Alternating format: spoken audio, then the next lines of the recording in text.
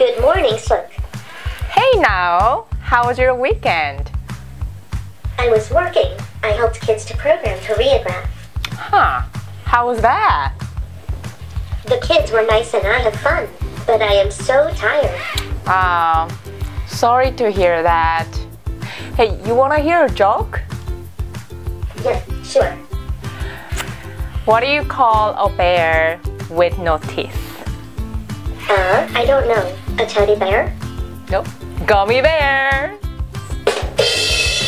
Bob, Sook, I am really sorry that you are not good at jokes.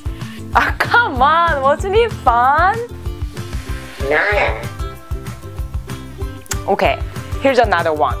Okay, I am listening.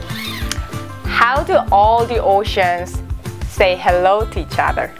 What? I don't know. They wave.